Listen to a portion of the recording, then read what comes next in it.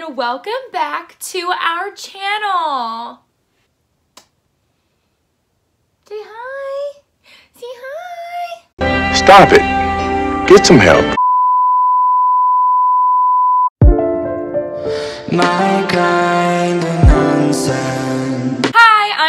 Ashley and I'm so excited that you're here and you're watching this video. This is going to be my monthly wrap up. I read 11 books in the month of May and basically what I'm going to be doing throughout this video is bringing them up one by one or if they're a series, I'll just talk about the series as a whole um, and we'll go from there and I'll tell you whether or not I liked them, if I didn't like them, and if I would recommend them.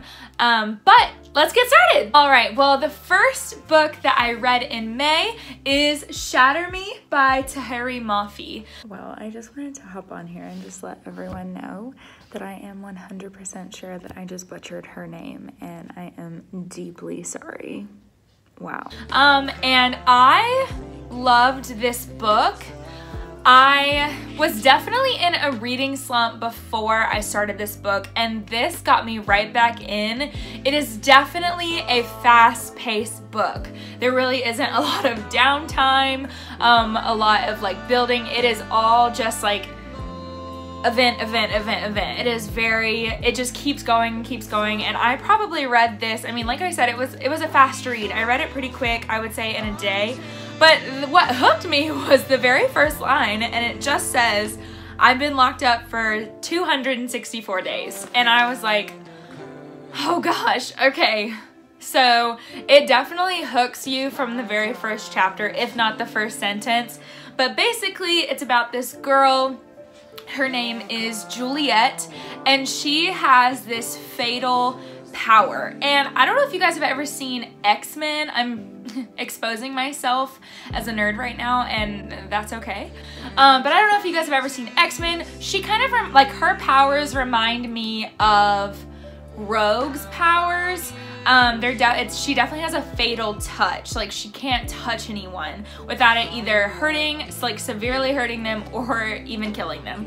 So she has spent 264 days in isolation and all of a sudden without any kind of communication that she's getting a roommate and his name is Adam and Adam definitely has some secrets of his own and it is just very interesting just to see their stories play out and then you kind of meet this other guy his name is Warren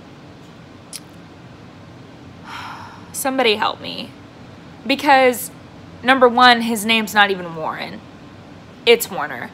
And then, you know, there's the fact that I've not only butchered the author's name, but, you know, I've really done myself in and butchered the main character's name. So, uh, and, you know, he kind of comes off like a psychopath. And that's all I have to say. That's all that you really get from him in this book. Um, but I would consider this, like this whole series, because this is a series, um, a, a dystopian. Um, and so if you're interested in that, like these would be really, really good for you. And I won't go too much into the other books because I don't want to spoil the first one. Um, but the second book in the series is called Unravel Me, and it just continues um, Juliette's story. And then this is probably my favorite book in the whole series. It's called Ignite Me and in this book you get a lot of different perspectives. Like I think they've dived into them with the second book just a little bit. Um, but this one you're definitely more into different people's perspectives, especially Warner. Um, and Warner up to this point, he seems very unfeeling, very um, I want what I want and I'm gonna get it kind of guy, but he's showing his perspective in this and um, it's actually, I don't know if, some, if I'm okay, but um, it's actually showing like the likable side and like the redeemable side of Warren and I really like to see that. Um, his and Juliette's relationship does um, it just it softens and I really like that a lot and Adam is still in this and at this point um, Adam is also going through a lot of trauma and dealing with a lot of unanswered questions. So um, you just kind of see their stories intertwined together and unravel. but I love this one. This one is my favorite book in the series. And then, you know, I'm not too sure what happens with this book. Um, this is Restore Me. This book, I wish it would have ended at Ignite Me. I wish she would have wrapped it up in a beautiful little bow this book kind of made me not care to finish this series because there's like I think there's like two other one or two other books after this one and then like two novellas I think. I'm not too sure.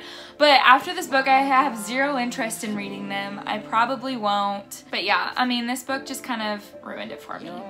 But that's not to say that the first three books weren't great all right, my next series that I'm gonna talk about, I'm not gonna talk about it a lot. I'm not gonna delve deep into it because number one, I've already talked about it on my last video. And number two, it's not worth it. So that is the Cruel Prince. Um, this series, I think it's called the Folk in the Air, Air, Air series. I don't know, I don't care. Um, and then it's The Wicked King. And then we have the last book in the series, which is The Queen of Nothing. And I won't talk much about why I don't like it. And you know, I'm just saying like I personally didn't like it. I'm not saying like because I know there are people out there that adore this series. And let me tell you, that is perfectly fine. You can love this series with all of your heart. But my heart just didn't. I just think she tried a little too hard to push the enemies to lovers trope. And it's, I like the trope, um, I like books that are like that. However, I mean, she just went so far that it just made me uncomfortable. I didn't think the main characters, Jude or Cardan, were likable. I thought that they were just not good people. They're very self-centered people um, and I just didn't personally like them or relate to them so I wasn't able to just enjoy the series. Alright, my next book that I read for the month of May, I decided to switch it up because I had read so much fantasy at the front end of the month. I wanted to do maybe like a romance, I thought that would be fun so I read The Friend Zone by Abby Jimenez and I thought this book was really good for what it was.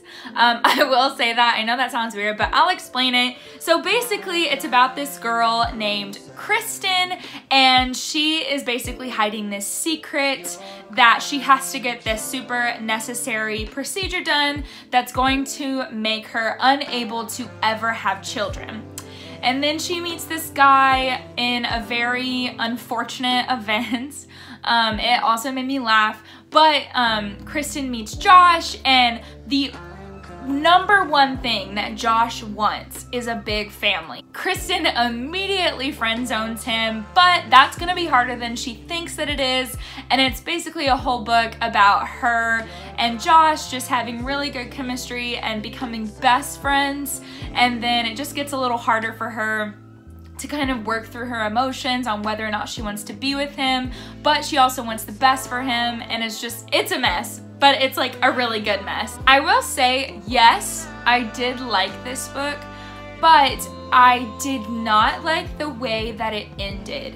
Um, and it's the like the last scene and I just think that what happened and how it was just like how it decided to wrap up, I just don't think, I think it set a lot of unrealistic expectations. I really just didn't like that. Um, and I mean, I liked the book as it was, but that was just the one thing that I would have changed. I think on Goodreads, I gave this like a three out of five stars. It was a really good book and I'll probably read it again. Um, but yeah, that's this book. All right, the next book that I want to talk about is one that I've already talked about.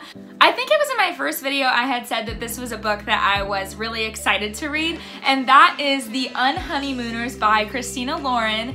Um, this book had me laughing out loud. This was so funny. I really enjoyed it. Basically, it's about this girl named Olive and she's a twin and she's just everything bad that could happen happens to her. Like she's super unlucky. And what's really funny is that her identical twin just has all of the luck in the entire world. Just all of it. Like she wins free things, like all the contests, like she is the winner, okay? Her sister is getting married and she is the maid of honor and her arch nemesis, his name is Ethan, is the best man. So they don't get along at all because of a miscommunication. So at the wedding, the entire party gets food poisoning, except for Olive and Ethan. So, because they want a free honeymoon trip, someone has to go, and obviously it has to be Olive and Ethan. And that just sets up this entire trip of basically them trying to figure out why they hate each other. I cried because I laughed so hard at one point. There's like a paintball, um, a, a paintball game in here. I was out. I was down for the count, out for this season. It was really funny. So I I do really recommend this book. I think I gave it like four out of five stars. All right, so this next book I actually have not finished. I'm still in the middle of it, but it's still gonna be on my May wrap up, is the Happy Ever After playlist by Abby Jimenez. I did really like the Friend Zone um, that I talked about previously. This is the sequel. So this is Kristen's best friend, Sloan, and I really don't want to tell you much about it because it's gonna spoil the Friend Zone. Hopefully in my next video I can kind of talk just a little bit about it before I start my June TBR. So you can stay tuned for more information on this book, but I am really loving it. I am about halfway through and it has really not let me down. I do think I like this book better than I do The Friend Zone, so yes. All right, so the last book that I'm actually going to reread. I've already read it. I read it my freshman year of college, and that was about five years ago. But basically, I'm gonna reread Rebecca by Daphne du Maurier. I'm gonna try and read one classic or modern classic a month because I don't wanna like overwhelm myself with like all this fantasy. Um, and because, you know, I like what I like. All right? So I know, like previously since I read this, when I read this in college, I liked it a lot, um, but I haven't reread it since then, and it, it's been a while, so I want to go in for a reread. So basically, so I'm literally out here editing, and I'm so annoyed with myself. How many times do I say basically? Like, are my friends annoyed with me? I know I say it a lot. I just realized it. I think I've edited out like eight basically and there's still like 10 in there I'm done. This book, the heroine, who never learned her name, which I find fascinating because you think it's Rebecca, but it's not. So this heroine, who we don't know the name, finds her life changed when she meets this super attractive and very wealthy widower and I think his name is Maxim de Winter and he spends some time with her and suddenly like he proposes to her and you know she says yes. And there's just some really sketchy things going on. Like it's definitely haunting. And not in like a horror sense. Why did I say that weird? Horror. Horror I don't know. Um, it's not in that sense. Like, it's not scary. It's just, like, very suspenseful. And um, basically, Maxim was married before, and her name was Rebecca.